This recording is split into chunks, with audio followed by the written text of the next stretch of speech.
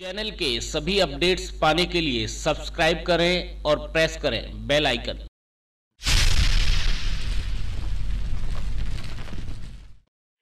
देश भर के महानगरों की भीड़ भाड़ से भरी और ट्रैफ़िक जैम से भरपूर सड़कों पर अक्सर ही आपने एंबुलेंस को सायरन बजाकर राहगीरों से रास्ता मांगते हुए देखा होगा।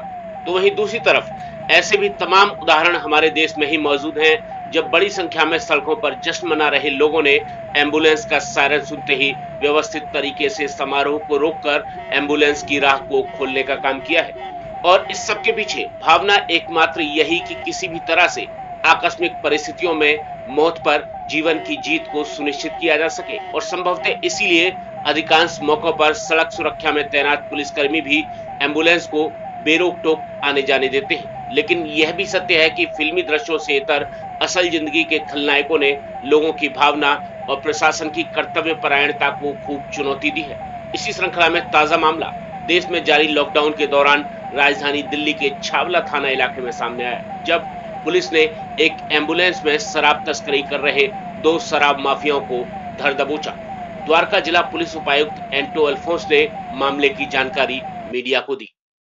चावला पुलिस स्टेशन इलाका के अंदर बॉर्डर की तरफ़ से, जो हरियाणा बॉर्डर पड़ता है, उसकी तरफ़ से चार पिकेट लगे हुए हैं। वैसे हमको ये जो अभी लॉकडाउन के दौरान 24 घंटे ये पिकेट का पिकेट में चेकिंग होते रहते हैं। और आज सुबह एक गाड़ी एंबुलेंस गाड़ी आई थी, उसमें सस्पिशियस लग रहा था, जो हमारा पुलिस पर्सनल चावला थाना का जो टीम है, वो चेकिंग करने को शुरू किया था।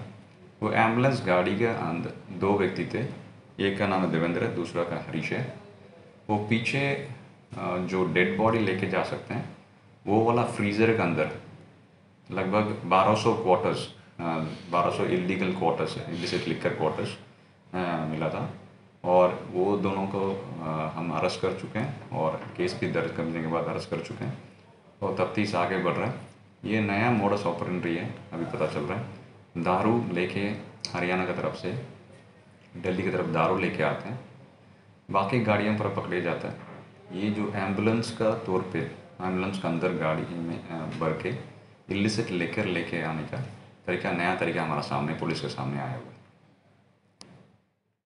स्क्रीन पर पुलिस गिरफ्त में दिखाई दे रही, यही दोनों वह तस्कर हैं जो एंबुलेंस में डेड बॉडी के नाम पर हरियाणा से शराब लाकर दिल्ली में तस्करी कर रहे थे। और वीडियो में दिखाई दे रही यही वह एंबुलेंस है जिसे डेड बॉडी के नाम पर शराब तस्करी के मामलों में इस्तेमाल किया जा रहा था। दरअसल, हरीश लोहिया और देवेंद्र नाम के इन दोनों तस्करों ने गिरफ्त के बाद पुलिस पूछताछ में बताया है कि जयसिंह नाम के व्यक्ति ने इन्हें तस्करी का यह काम दिया था और प्रत्येक चक्कर पर इन्हें दो हज़ार रुपए दिए जाने थे। इन तस्करों के पास से पुलिस ने 25 कार्टून में 816 शराब के क्वार्टर और सत्तानवे बोतल अवैध शराब जब्त की है। वहीं पुलिस ने तस्करी में प्रयोग की जा रही एंबुलेंस कार को भी जब्त कर लिया है। चैनल के सभी अपडेट्स पाने के लिए सब्सक्राइब करें और प्रेस करें बेल आइकन।